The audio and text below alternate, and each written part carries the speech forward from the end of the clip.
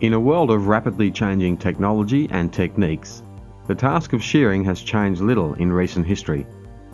But there is no doubt that good shearing is a highly refined skill by any standard, achievable only through effort and practice.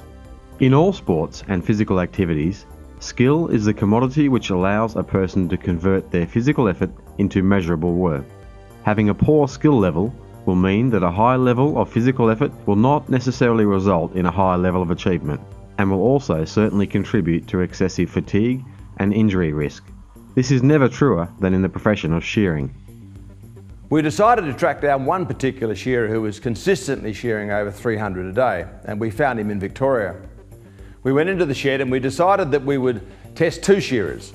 One of them who we knew was to be elite, and the other was just, I suppose, uh, an improver or an average shearer.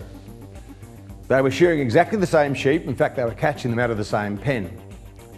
When we measured their heart rates, the improver shearer had a heart rate of about 154 beats a minute over the two hours.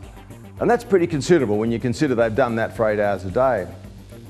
The elite shearer, on the other hand, had an average heart rate of about 121 beats a minute. Same sheep in the same shed, same conditions.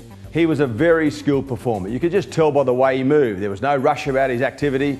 He was clearly a very skilled, skilled shearer. When we looked at the tallies at the end of the day, the improver shearer had shorn 129 sheep. The elite guy had shorn 300. It is clear from this kind of data that having a poor skill level will increase the energy cost and hence fatigue associated with shearing or any other physical task. Not only this, but a low skill level is also a great contributor to injury risk, as has been demonstrated in more recent research in New Zealand. Professional athletes will receive ongoing coaching throughout their career to refine skill levels. Skill coaching will start at junior level and continue every year. Even world champions continue to seek refinements in their technique until the very end of their careers. The rewards for the ongoing efforts they make are measured in increased success, greater wealth, and reduced injuries. A shearer, like an athlete, should employ methods to refine their skill level wherever possible.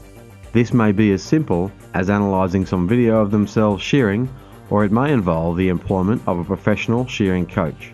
Shearing is a highly complex and skilled task, and it is a necessity for every shearer to aim towards refining their skill with any means at their disposal.